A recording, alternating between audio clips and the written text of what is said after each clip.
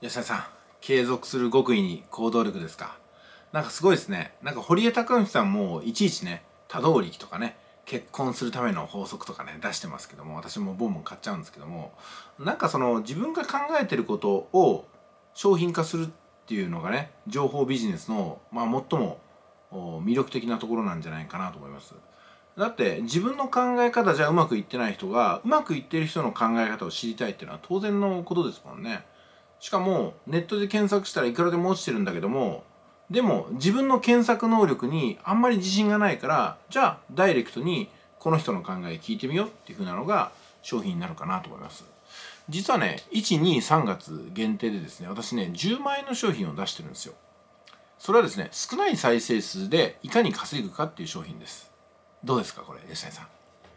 1月にセールスを1週間しましてサポート期間3ヶ月ってやつだったんですけども4名の方がご購入くださって、まあ、売上的には40万だったんですよね。で4人のうちの受講生のうち1人の方が少ない再生数でまさに稼ぐことが成功してます。チャンネル登録が300人ぐらいですね。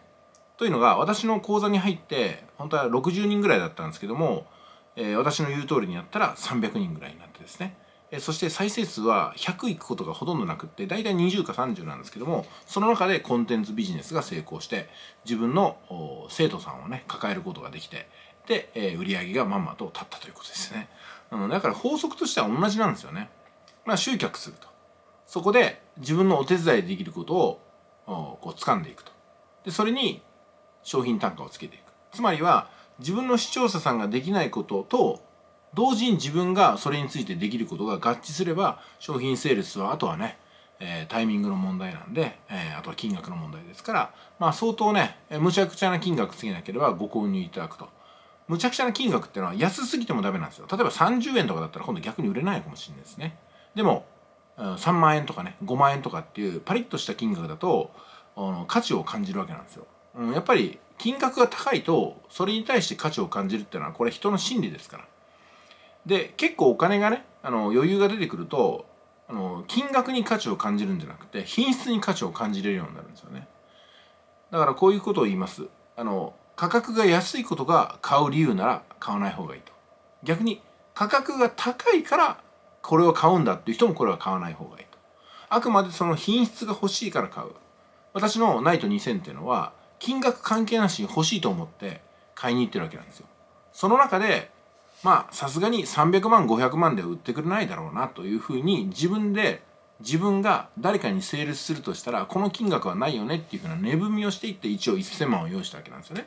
1000万を用意していって仮に2000万と言われたら頭金にぶち込むことができる1000万という考え方です。で実際は1000万円でちょびっとお釣りが来たんで本当に自分の考えてる値頃と販売価格の考えてる値頃とが一致したんだなと思ってね、えこれはちょっとね感動した覚えがありますけどもねあとはね私などの人間に売ってくれるのかどうかっていうふうな問題だったんで、えー、とりあえずお土産を持って行って現地に足を運んででオーナーさんとねあのショップのオーナーさんと仲良くなってでこれがナイトライダーがどのぐらい好きかってことを情熱を話して1日かけて売ってもらったわけなんですよね。あとはあの心配会社を通すだけって形になります。もちろん原価償却でいきますんで現金は持っていつつも